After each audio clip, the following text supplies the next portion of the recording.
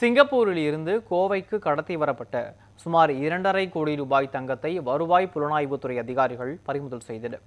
சிங்கப்பூரில் இருந்து கோவைக்கு தங்கம் கடத்தி வரப்படுவதாக வருவாய் புலனாய்வுத்துறைக்கு தகவல் கிடைத்தது.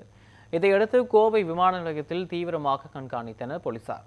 இந்நிலையில் சிங்கப்பூரில் இருந்து கோவைக்கு ஸ்கூட் விமானம் வந்தடைந்தது. இதில் வந்த இரண்டு பயணிகளின் நடவடிக்கைகளில் அதிகாரிகளுக்கு சந்தேகம் ஏற்பட்டது. இதனையடுத்து அவர்களை சோதனை செய்தபோது கால்சட்டை மற்றும் உள்ளாடைகளில் மறைத்து நான்கு கிலோ நூறு கிராம் தங்கத்தை கடத்தியது தெரியவந்தது.